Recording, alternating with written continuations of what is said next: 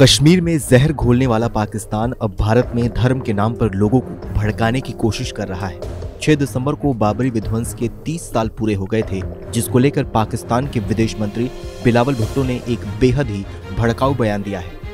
हालाँकि बिलावल भुट्टो के इस बयान को लेकर पाकिस्तान में भी उनका मज़ाक बनना शुरू हो गया है। दरअसल 6 दिसंबर को अपने एक ट्वीट में पाकिस्तान के विदेश मंत्री बिलावल भुट्टो जरदारी ने लिखा कि 30 साल पहले हिंदू भीड़ ने अयोध्या में बाबरी मस्जिद को तोड़ दिया था। इसे नजरअंदाज नहीं किया जाना चाहिए। इस्लामी विरासत की रक्षा की जानी चाहिए।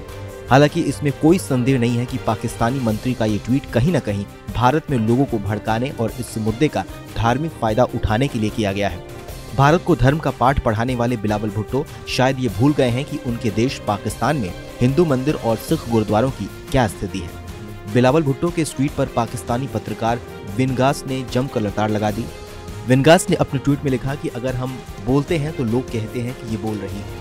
लेकिन कभी कभी हम उन चीज़ों को बर्दाश्त नहीं कर सकते हैं जिनका सच से कोई लेना देना नहीं है। भुट्टो साहब, आपका ट्वीट उर्दू मीडिया और कट्टरपंथी लोगों को खुश कर सकता है, लेकिन ये सच नहीं है। खैर, आपकी सरकार मंदिरों की रक्षा कब करने जा रही है?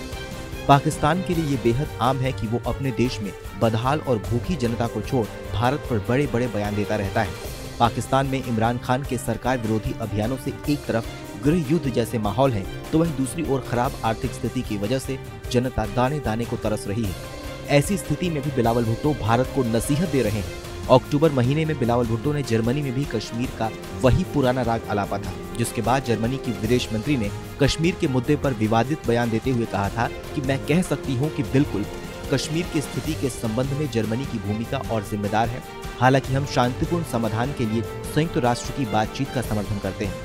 जर्मन विदेश मंत्री एनालेना बेयरबॉक के इस बयान के बाद भारत ने अपना कड़ा विरोध जताया, जिसके बाद जर्मनी की तरफ़ से इस मामले में सफ़ाई दी गई।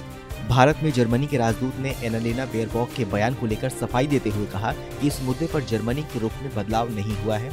कश्मीर का मुद्दा भारत और पाकिस्तान का द्विपक्षीय मसला है और इसका समाधान दोनों देशों के बीच आपसी बातचीत से ही होना चाहिए।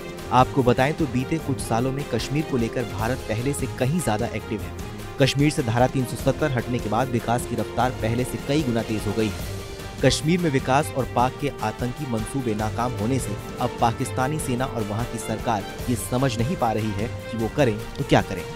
बहरहाल, इस खबर को लेकर आपकी क्या राय है हमें कमेंट सेक्शन में लिखकर ज़रूर बताइए। बाकी देश और दुनिया की अन्य बड़ी खबरों के लिए देखते रहिए आज तक डिजिटल